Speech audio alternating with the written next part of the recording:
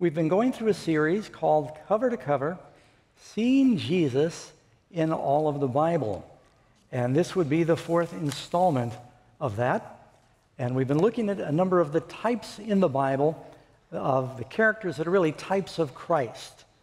Uh, all of the Bible, New and Old Testament, is teaching us about Jesus. And the stories in the Bible and these great characters in the Bible are often giving us insights into the plan of salvation and the life and the ministry of Jesus. There probably is no character in the Old Testament that is a more vivid example of Christ than that of Joseph. Now, we were introduced last week to Joseph, and when we left the story, he was beginning a time of great trial, and he had been sold as a slave. You know, the Bible promises that God can give us courage through our trials. We all go through different trials.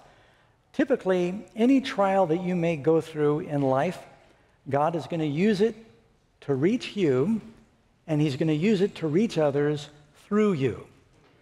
And so it ends up being a blessing. It may not feel like it at the time. Thought I'd just share a little amazing fact from history regarding courage through trials. Early trials and setbacks don't have to define your life. Consider for a minute Abraham Lincoln. His mother died when he was nine years old. His father could not read. He failed in business at age 21. He was defeated in a legislative race at the age of 22. He failed again in business at the age of 24. Overcome by the death of his sweetheart at age 26, he had a nervous breakdown at age 27 lost a congressional race at age 34. He married a wife who struggled with severe depression and later mental illness. He lost a congressional race at the age of 36, lost the senatorial race at the age of 45.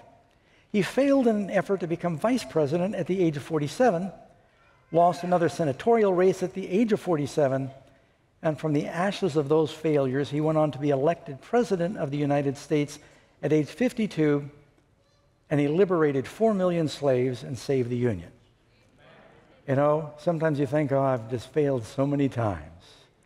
But uh, God may be just pre- preparing you for a great work and a great success and a great ministry. And, and we see that will end up happening in the life of Joseph. Now, just a little review because uh, some maybe haven't read it or you weren't here last week. Joseph was the firstborn son of Jacob's wife Rachel, but he was not the firstborn son. But Jacob loved Joseph more than all his children because he only wanted one wife, and that was Rachel, beautiful Rachel. Uh, Rachel must have also been a very good woman in many ways because her early training for Joseph, she died in childbirth for Joseph's younger brother Benjamin, but that early training must have been something extraordinary because Joseph grew up to be an extraordinary man with great scruples. But uh, Jacob, when uh, Reuben was misbehaving, Ru- Reuben had a, an affair with uh, Jacob's, one of his concubines, and he said Reuben, who was technically the firstborn, could not have the right of the firstborn. He gave Joseph this beautiful coat of many colors, and that made the other brothers jealous. We learned those coats of many colors were given to royalty. I read you a few verses on that last week. Furthermore, those coats were also for the priestly office.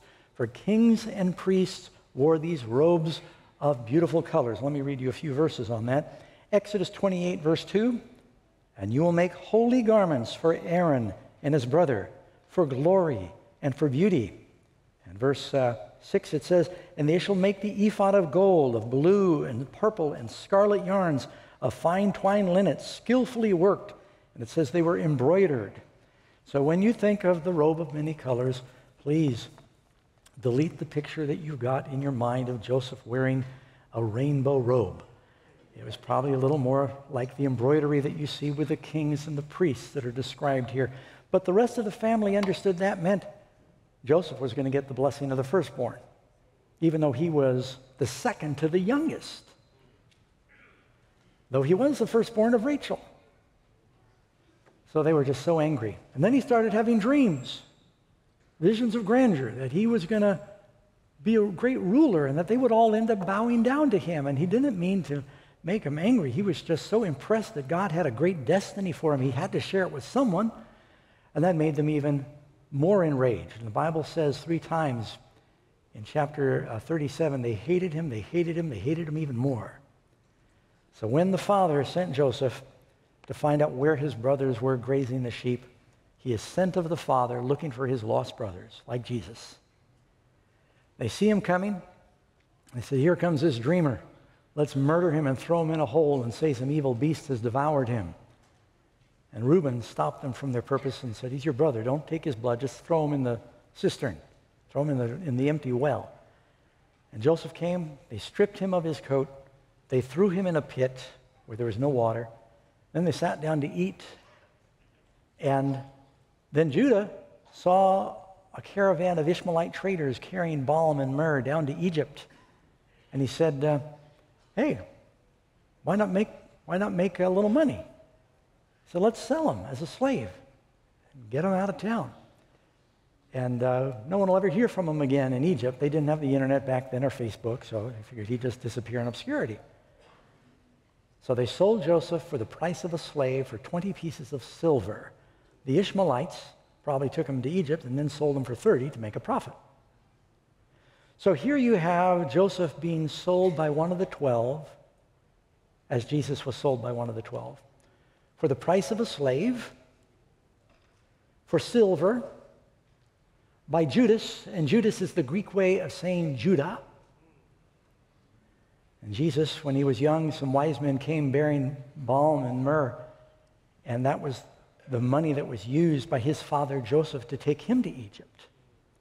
There's so many analogies. So here's where we pick up our story. And, um, you know, the interesting thing is that Joseph is one of the few people in the Bible actually who gets a vision in advance telling about his destiny. Jeremiah, Samson, Mary, Paul, Joseph, visions were given saying, God has a destiny for your future. Now, you may not have had a dream or vision, but I can tell you God has a purpose for your life. And you know, friends, this is very near and dear to my heart because I remember going through my early life wondering if there was any meaning to life, being raised pretty much an atheist or agnostic.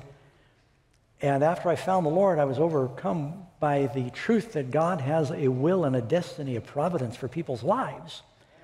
And I never would have dreamed the way the Lord has led and worked in my life, and it was all His working and His providence. And so I just, I praise him because sometimes God takes you through trials to prepare you for ministry. And this is what happens here with Joseph. So if you'll take your Bibles, you can turn to uh, the book of Genesis, chapter 39. And we see that Joseph now goes from these trials to a phase of his life where he is a faithful servant. But before a faithful servant, he must have full surrender as the Ishmaelite traders are bringing Joseph down to Egypt because he was looking for his brothers up in a, a northern area called Dothan, his father was bivouacked with the family and all the servants in a place called Hebron. The Ishmaelite traders are going to Egypt, it necessitated them going back by where the hills where Joseph could see his family. So can you imagine? Joseph's now been sold as a slave by his brothers treated terribly, mocked and abused. He pled for mercy. They showed him no mercy. He's now tied either on or behind a camel and being taken off to be sold as a slave, where he had been the pampered son of a wealthy nomad. Joseph, or Israel rather, was, Jacob, Israel, was very much like a king. Back then, the kings were sheiks. They, were, they had these servants and wealth and tribes and, and uh, flocks and herds. And and Joseph had been the crown prince, and now he's going to be sold as a slave. And he could look off in the distance and maybe even see the wisps of smoke coming up from the, the homestead, thinking his father, how he would have a broken heart that now his son didn't come home. He overheard his brother saying, We'll say an evil beast has devoured him. And he thought about how his father would grieve. Was Jesus aware of the grieving of our Heavenly Father? in the absence of his son. Joseph then made a resolution of full surrender. He said, All right, Lord, I believe you gave me those dreams, supernatural dreams, because you have a plan for my life. You'll find out later that Joseph not only has dreams, he has the ability to interpret dreams. You think he might have known something about his own dream if he can interpret other people's dreams. He knew God had a big plan for him. He said, Lord, whatever happens, I'm going to fully surrender and trust you. You know, friends, if you can get past that decision in your life, your life will be a lot happier. Whatever happens, you will do your best to serve God. You will do your best to be faithful. Whatever happens, you're going to trust the Lord. And do your best to represent Christ. Whatever your hand finds to do, do it unto the Lord. Whether you're a prisoner, whether you're a slave, do all things unto the Lord, wherever God puts you in life. You know, there's a quote I read actually uh, last night from that beautiful classic called Patriarchs and Prophets, series that deals with uh, the early days in the Bible, in the Old Testament, talking about Joseph when he had been sold. It says, His soul thrilled with the high resolve to prove himself true to God, under all circumstances to act as became a subject of the King of Heaven. He would serve the Lord with undivided heart. He would meet with trials, his lot with fortitude, and perform every duty with fidelity. One day's experience had been the turning point in Joseph's life. Its terrible calamity had transformed him from a petted child to a man, thoughtful, courageous, self possessed. He had a radical wake up experience. You know, sometimes people say they had a come to Jesus experience. And Joseph, realizing that he was being sent off to Egypt, he said, All right, I'm going to be in totally foreign circumstances. The only one I know that is always with me is God. And he submitted himself to God. So he gets down to Egypt, and this is where you take it up with Genesis chapter 39, and he becomes the faithful servant here. And I'm just going to read the first few verses of this. Now Joseph had been taken down to Egypt, and there Potiphar, an officer of Pharaoh, captain of the guard, that phrase captain of the guard appears several times in the passage. It makes it. Uh, leads us believing from some of the, the ancient writings and commentators that he actually had the position of being chief of police, also chief of executioners. And um, so he has a powerful position. Now, God deliberately puts Joseph in connection with, well, I guess I didn't finish. Potiphar buys him. Let me finish the verse here. Potiphar, an officer of Pharaoh, captain of the guard, an Egyptian, bought him from the Ishmaelites whom had taken him there. And so um, the Lord, in his design, had Joseph placed, he's 17 years old. By the way, we can map out the life of Joseph pretty clearly. Some ages and dates are given. He's 17 years old. He's just on the cusp of manhood, old enough to be drafted, but still pretty young. And they take him to the auction block there in Egypt where the slaves are bought and sold. And he could have been bought by some potter, shoemaker, anything, but he's bought by somebody who's, in connect, who's connected with the palace and the government and science and leaders.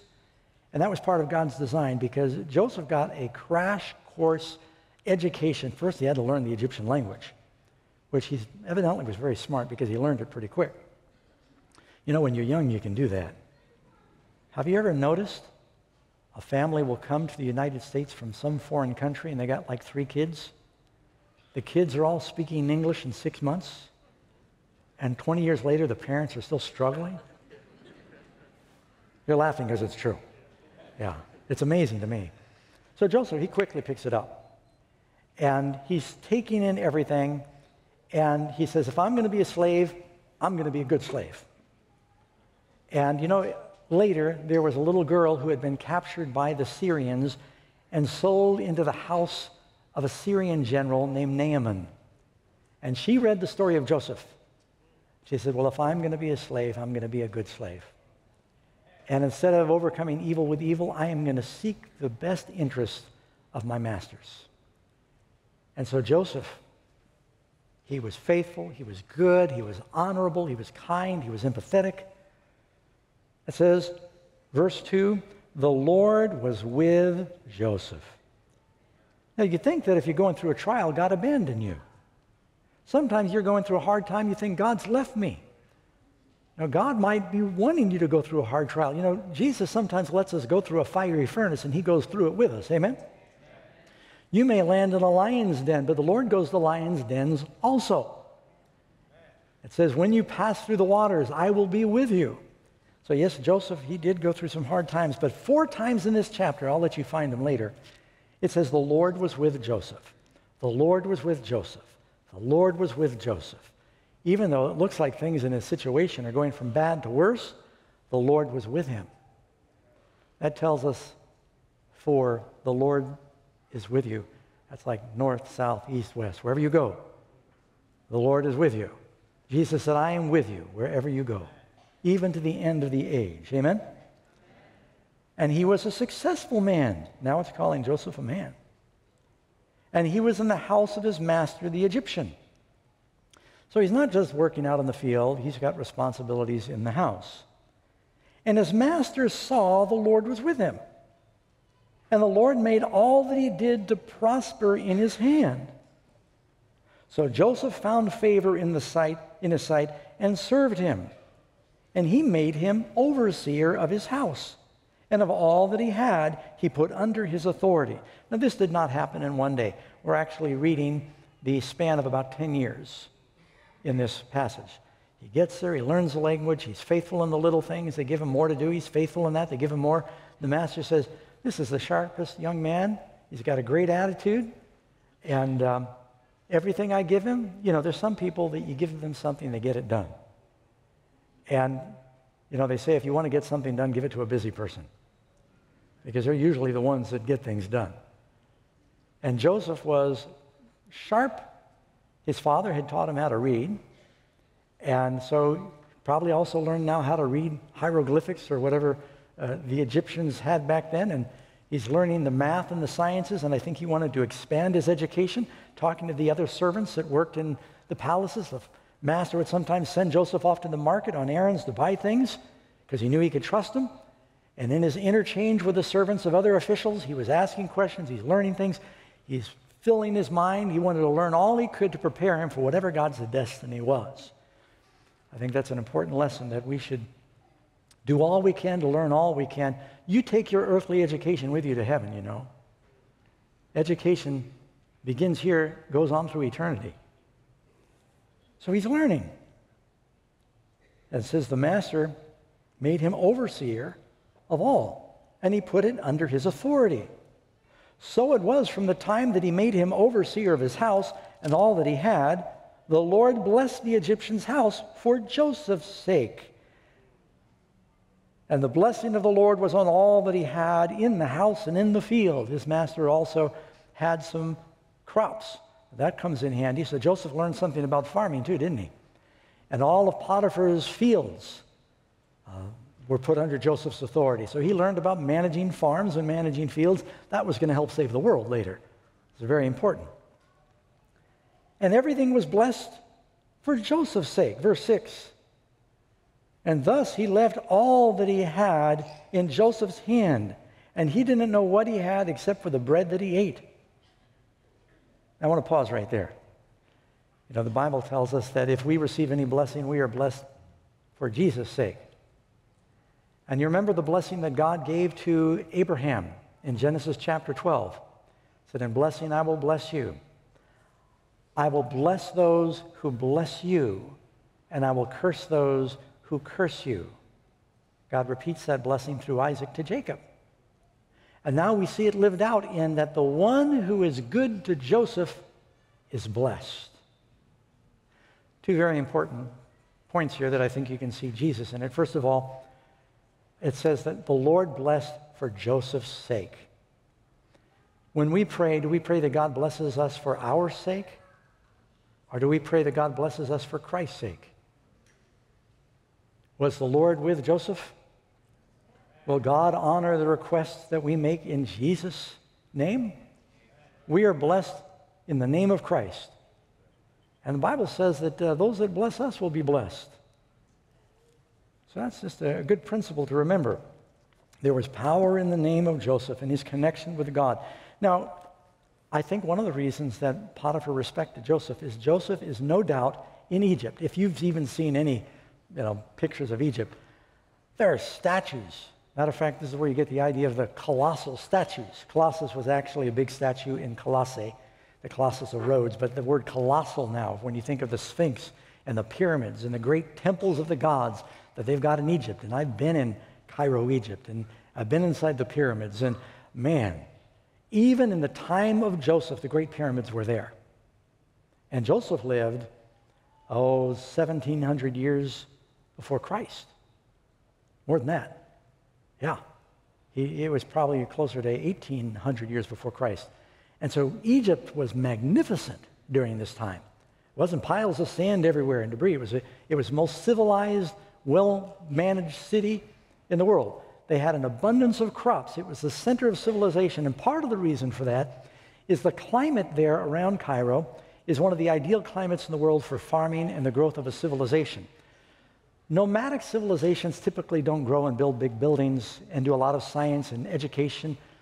But when you have a civilization by a river where they can farm and have an excess of food, because you can irrigate from the river, they got more spare time for study and the sciences and uh, education, and you just see civilizations seem to grow like in Mesopotamia by the Euphrates and these other great cities. And so Egypt was blossoming because of that, but a lot of it depended on the river. So Joseph, right now, he's in Egypt during its zenith, and God is blessing him. And he's thinking things are looking up. I've been sold as a slave, but at least now I'm just underneath Potiphar in authority. And God is blessing. So now Joseph is like, uh, he's about 27 years old, and he's a He's at his uh, peak as a young man.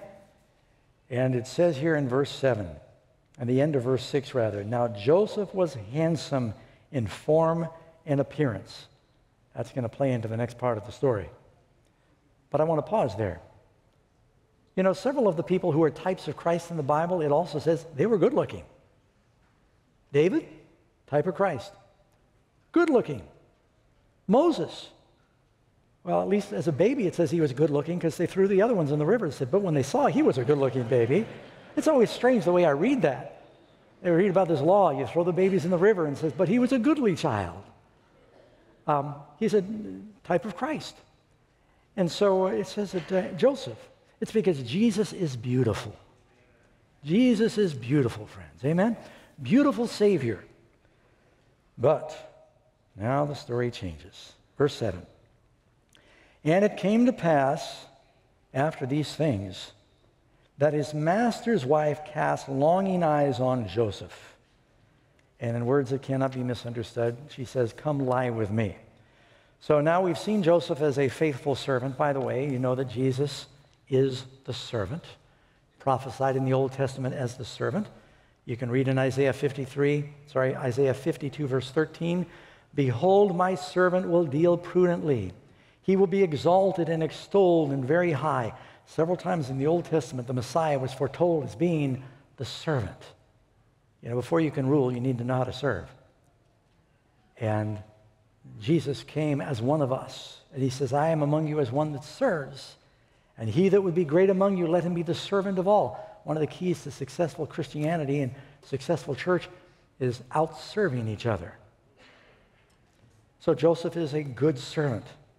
Something else we notice about Joseph in his capacity as a servant, it tells us that um, he is a successful servant. He does everything well.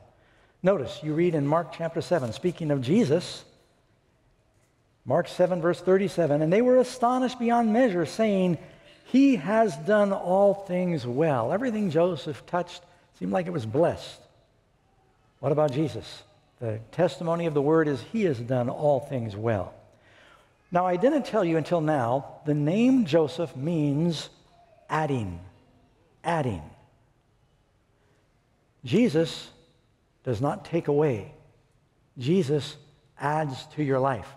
Some people think, I'd like to be a Christian, but I have to give up so much. That is a myth. It does require something to be a Christian. You must give up something to be a Christian. It does cost to be a Christian, but it pays much more than it costs. This is what Jesus said. Christ says in Luke chapter uh, 18, verse 29, Jesus is speaking, Assuredly I say to you, There's no one who has left house or parents or brothers or wife or children for the sake of the kingdom of God who shall not receive many times more, he adds, in this present time and in the age to come eternal life. God adds to us. Jesus said, John chapter 10, verse 10, the thief, he comes except to steal, to kill, and destroy. I've come that they might have life. What kind of life? More abundantly. Jesus is an addition to your life. He multiplies blessings. He giveth and giveth and giveth again. Amen? This is blessings to us. We cannot number them. You read in Ephesians, Paul says in Ephesians 3, verse 20, he wants to bless exceedingly abundantly above all. So Joseph, Joseph added, and he was faithful in the little things. Now, that's another principle we'll see play out. Luke 16, 10, he who is faithful in that which is least is faithful also in much. So when Joseph was in Potiphar's house and he was sweeping, he did not look to his right and his left, and when no one was looking, he swept the dirt under the carpet. He swept it into the dustpan and took it to the appropriate bin. Joseph was faithful in the little things. And if you're faithful in little things, you then are successful in big things. Little things matter to God. Amen? But now, it's not Jesus and Joseph as the faithful servant. Now we see him as the innocent scapegoat. Potiphar's wife casts longing eyes on Joseph, this handsome young man, and I don't know what was going on between Mr. Potiphar and Mrs. Potiphar, but uh, evidently she wasn't satisfied. And she set her eyes on Joseph, and this is probably a good place to mention. You know the verse in the Bible that tells us that uh, it's not only a sin to commit adultery, but a person can commit adultery with a look, typically begins with a look. And it's not only, Jesus said, and if a man looks on a woman, he can commit adultery in his heart. We all know that. Clearly, a woman can look on a man too. Amen? And I don't know when I'll get another chance to say this, so I better say it now. We already know that everybody struggles with temptation. Anybody healthy at some point in their life has probably struggled with impure thoughts. Don't make it worse for anybody by dressing in a way that will be provocative. I suspect that Mrs. Potiphar, when Joseph was in the house and her husband was off on business, and she had cast longing eyes on Joseph, that uh, she was walking around in skimpy clothes and, trying to entice him. Uh, don't come to church like that. Well, you shouldn't look like that any time, in public anyway. You're married, there is a time to look like that. But uh, I just thought I'd remind us you know, the culture is always telling men and women to try to dress sexy. Should Christians try to dress sexy? Now, friends, I, I think we ought to be neat and clean.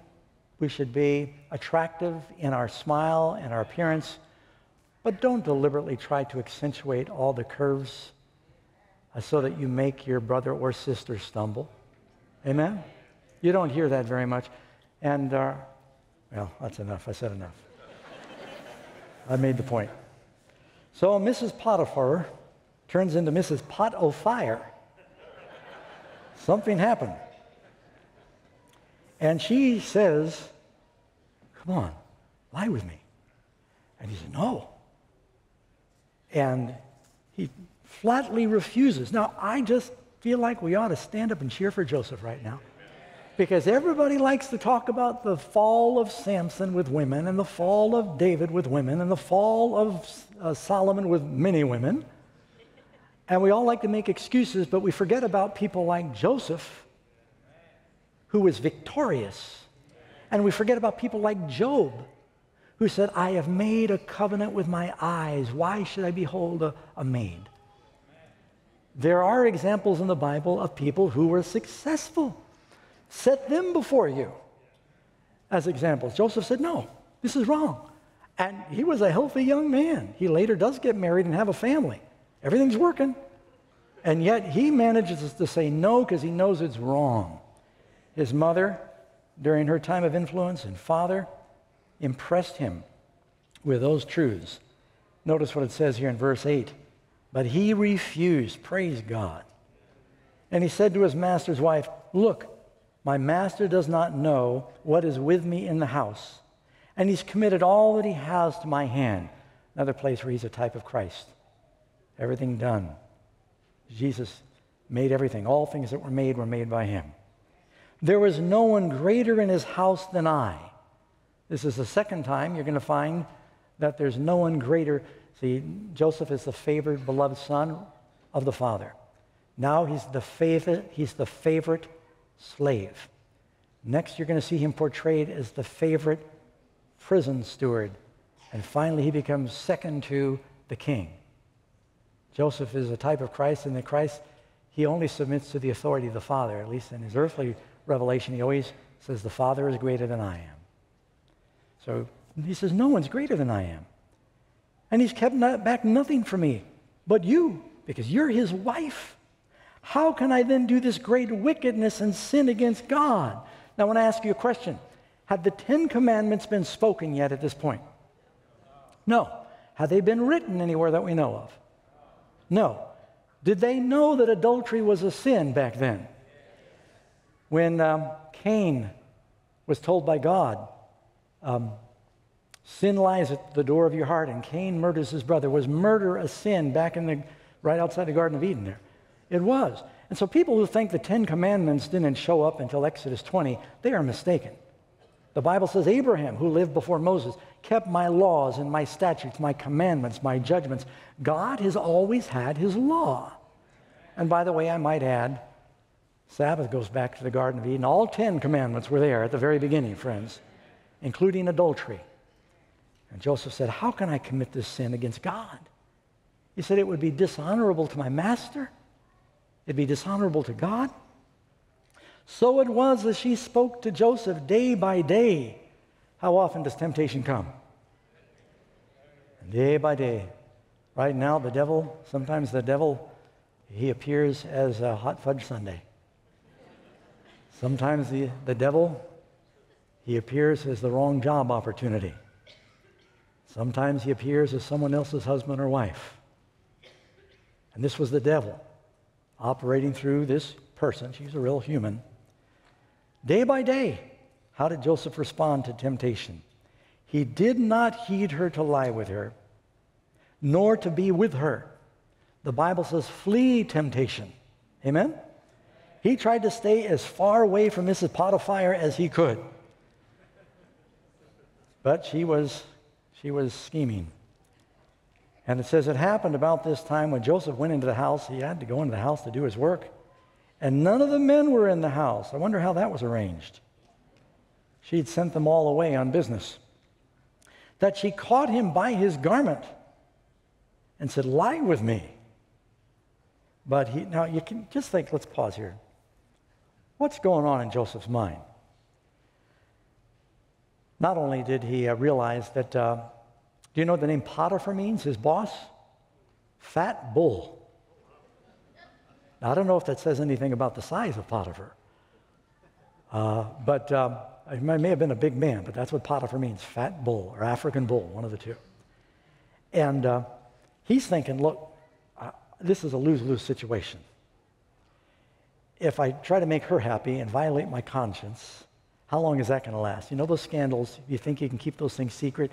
It always unravels. The devil will tempt you into secret sin, and then he will broadcast it from the mountaintop. It doesn't work. So he knows this thing is not going to last, especially, you know, in a. He also remembered, I told you this would come back. He remembered in his own family, his older brother tried to have a secret affair with his stepmother, Bilhah, Reuben. And that deeply impressed him. That scandal brought a lot of grief to his family, and he saw his father's grief. He thought, how can I bring that grief to my heavenly father? He's thinking that if I continue to n- deny her, life's going to be really difficult. If I give in and Potiphar finds out I'm dead, and just it's like he's saying, What do I do? And he finally said, Lord, earthly options don't look good. I'm going to trust you and do the right thing. Sometimes you think there's just no way out. You do the right thing, trust God. And if you suffer for doing good, it is better than suffering for doing wrong. So he refused to be with her. She called him and said, Lie with me. And he fled and he ran outside. And so it was when she saw that he had left his garment in her hand. Do you notice that Joseph has trouble hanging onto his robe? He left his garment in her hand. He fled outside. That she then realizes, oh, he might tell my husband, I've got to set things up so it looks like he started it. Very conniving. There's a adage somewhere, I don't think it's in the Bible hell hath no fury like a woman scorned. Should be in the Bible because it's true. And when he refused her final advance, that really hurt. She called to the men of the house and spoke to them, saying, See, he's brought into us this Hebrew. You notice they're not called Jews or, or Israelites yet because uh, they're still under Abraham the Hebrew. And that's from the people of Eber, the descendants of Eber, to mock us. He came in to lie with me, and I cried out with a loud voice. Now, she says that she calls all the servants in, so they'll be witnesses with her when her husband comes home. And it happened when I heard, I lifted up my voice and cried out, and he left his garment with me and fled and went outside. So she kept his garment with her until his master came home. Now, this is the second time Joseph's garment is being used to cover someone else's sin. What covers our sin? The Bible calls it the robe of Christ's righteousness. Amen? Then she spoke to him with these words, saying, The Hebrew servant that you brought to me came into me to mock me. So it happened as I lifted my voice and cried out that he left his garment with me and he fled outside. So it was when his master heard the words which his wife spoke to him, saying, Your servant did after me after this manner, his anger was aroused. Now, I, I don't think Potiphar, I mean, he's been married to this gal for a while, we're assuming. And he must have known she had issues. And he had observed Joseph's faithfulness and integrity for 10 years now. And so when she concocts this story that out of the blue, this faithful servant tried to rape his wife in the house, he was wondering how true it was. If he really believed it, and part of his job was executioner, I think it would have been over for Joseph. But because he was angry, but because he had some lingering doubts, he put him in the dungeon. Maybe he had to save face for his wife and the other servants that heard this. He thought, what's going to happen in our household if I don't stand with my wife on this one? So Joseph becomes the fall guy. He becomes the scapegoat. He becomes the sin bearer. Who bears our sins? Joseph suffers because of her sin. What does a woman represent? Church. Joseph suffers because of the sins of the woman. That sound familiar? Jesus suffered for our sins. And Joseph's master took him and put him in the prison, a place where the king's prisoners were confined. And again, now, who's in the prison with Joseph? Not the average ragtag poor prisoners, the king's prisoners. Joseph, during his years in prison, is getting more education. Now they've got a lot of time in prison. And uh, he's asking questions and he's learning. So, something you'll notice do you find anywhere where Joseph says anything in his own defense in this story? When Jesus is tried, does he defend himself or is he meek? The Bible tells us in Isaiah 53, verse 7, he was oppressed and he was afflicted, yet he opened not his mouth. He was led as a lamb to the slaughter, and as a sheep before its shears is silent, so he opened not his mouth. He faithfully resists temptation, but he says nothing to defend himself. He suffers as an innocent lamb for the sins of others. You know, when I read the story of Joseph, especially this last section, I'm reminded of that great quote from the book Education. The greatest want of the world is the want of men. Men who will not be bought or sold, men who in their inmost souls are true and honest, men who do not fear to call sin by its right name, men whose conscience is as true to duty as the needle is to the pole, men who will stand for the right though the heavens fall. You know, Dwight Moody heard someone challenge him once and say, the world has yet to see what God can do in and through a man who's totally consecrated to Him.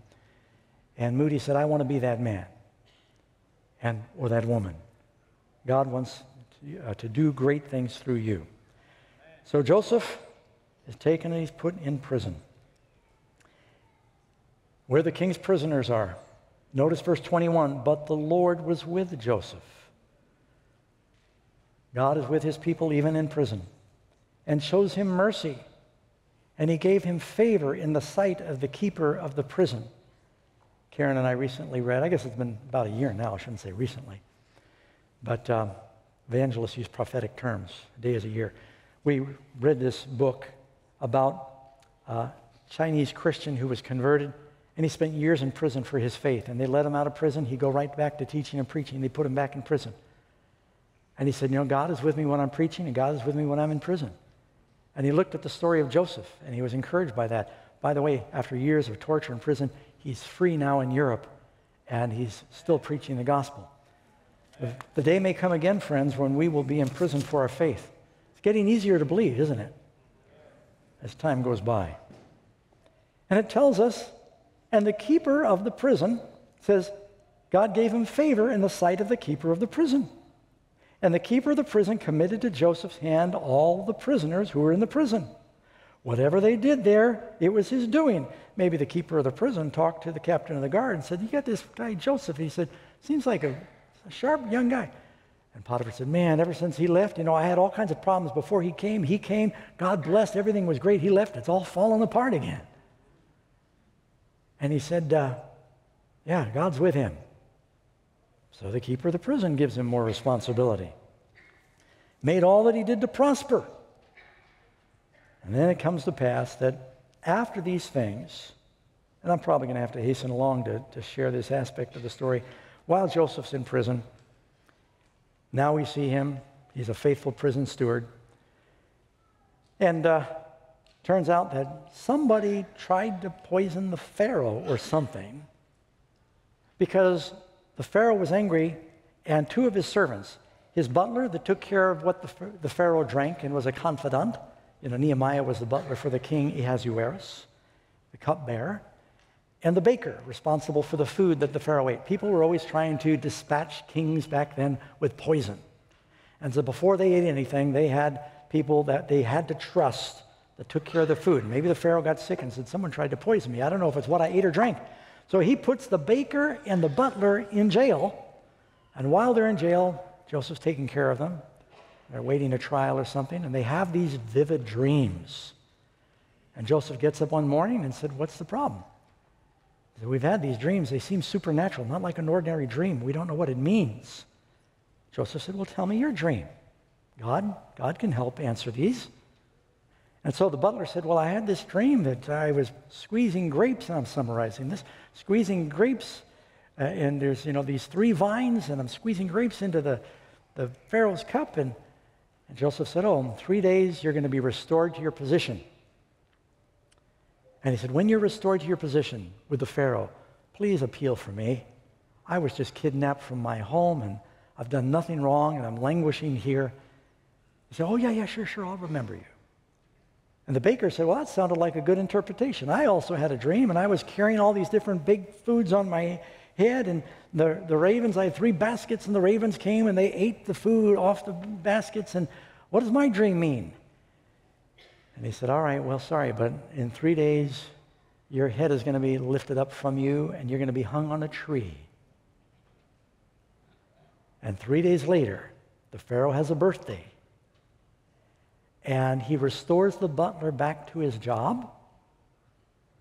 And the baker, I guess they found out the baker had tried to poison the Pharaoh or there was some intrigue. He is killed and hung on a tree. Now, was Jesus on the cross? That was the biggest prison for Christ. I mean, you don't get more in prison than being shackled to a cross. On the cross, he's flanked by two.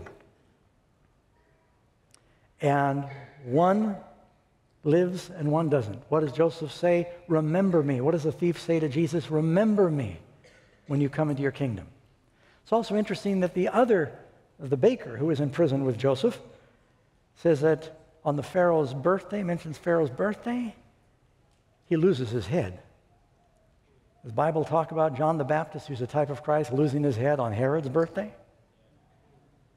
Just to find the whole gospel story wrapped up in this. And then, now, two years go by, and it says, they remembered not Joseph. But now the Pharaoh has dreams, and he can't sleep. And he has these two vivid dreams one of seven fat, lusty cows grazing by the Nile. And then in his dream, these seven skinny cows come up.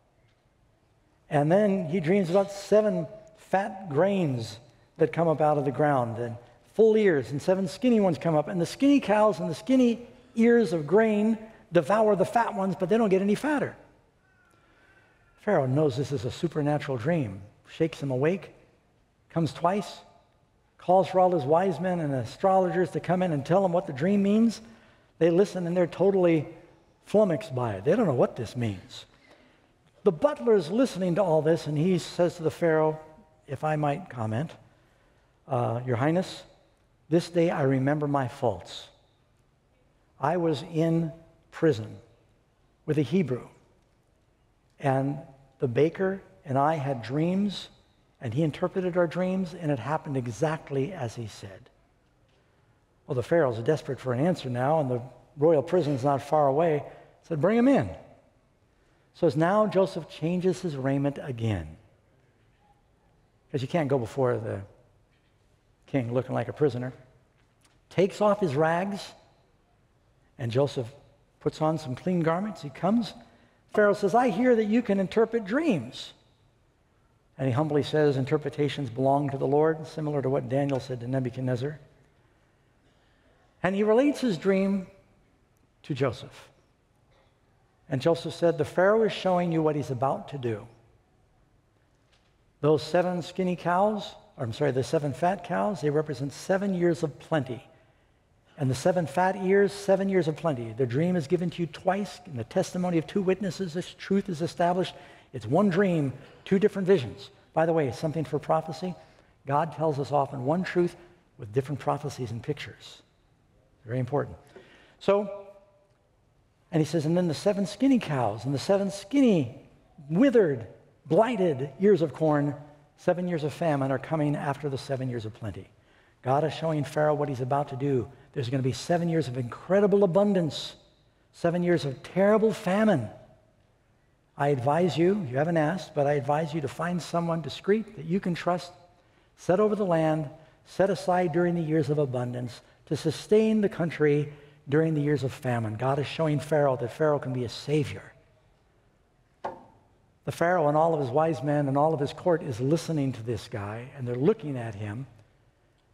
And the Pharaoh says to Joseph, You don't mind stepping out of the room for just a minute?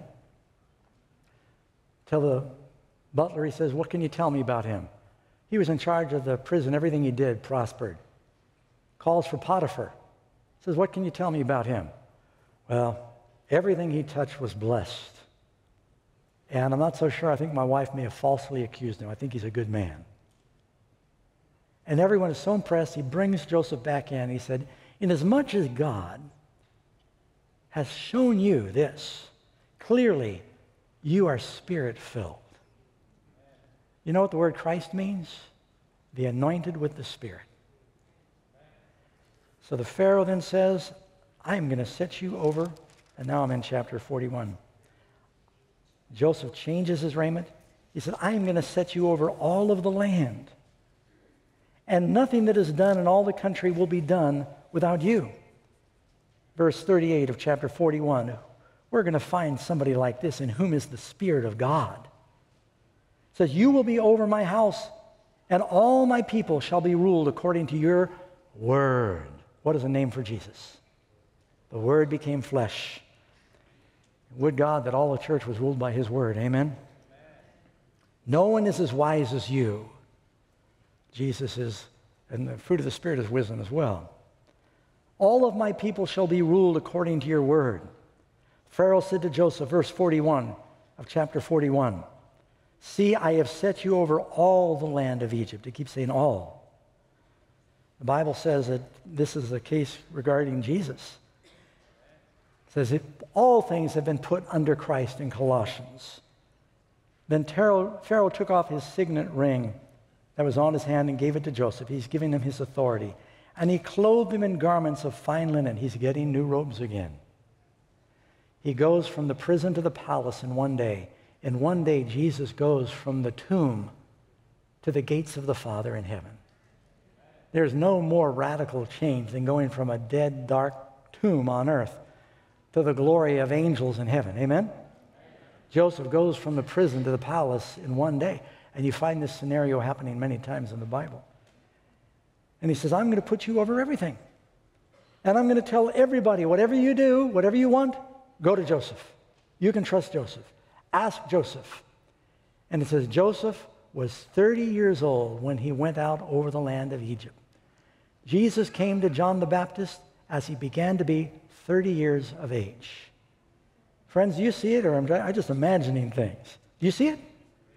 That Jesus is a type of Joseph, and now we see Joseph as the Savior. He's getting ready to save, and we've got more to talk about, but uh, the time is, is run out. You know, I, uh, I heard once of Billy Sunday. He went to a uh, town, he was a famous evangelist, had been a famous baseball star, gave up a prosperous career in baseball to become a preacher. He was dramatically converted, saved from drinking, and lived out his days as a very great preacher, a very dramatic preacher. And he'd talk about Nebuchadnezzar going crazy. Billy Sunday would get down on all fours and crawl around. And uh, he'd go into a town, he'd want to pray for people. And as he went into this town and he was setting up his tents and getting ready with his group to do this campaign, he had a prayer team and he sent to the mayor, he said, I'd like to have special prayer for people in your town that need saving. Do you have a list you can send me? And he was surprised when the mayor sent him the area phone book.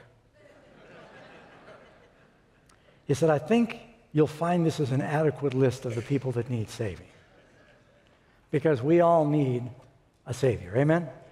Joseph ends up feeding the world the bread of life. Jesus is that bread that comes down from heaven, and he wants to save you.